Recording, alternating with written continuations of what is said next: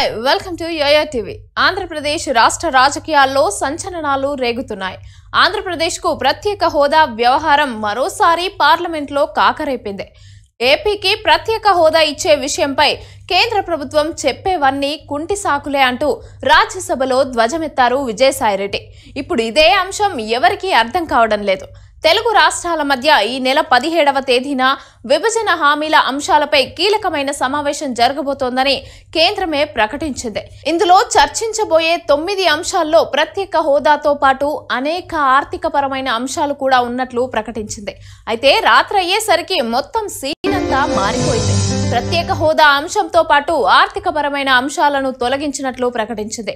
ఉదయం నుండి సాయంత్రానికి మధ్య తెర వెనుక ఎలాంటి డెవలప్మెంట్ జరిగిందో అర్థం కావడం లేదు. ముందేమో ప్రత్యేక హోదా అంశం కూడా చర్చలో ఉంటుందని చెప్పింది కేంద్రమే. రాత్రికి ఆ ఎజెండాను మార్చింది కేంద్రమే.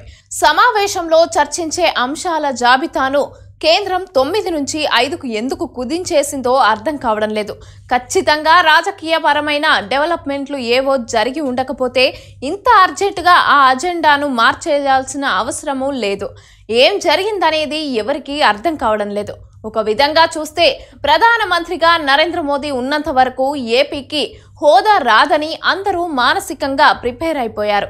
ఏదన్నా అద్భుతం జరిగింది అంటే మోదీకి ఏదన్నా రాజకీయ అనివార్యత తలెత్తితే తప్ప ఏపీకి హోదా వచ్చే అవకాశం లేదని అందరూ అనుకున్నారు.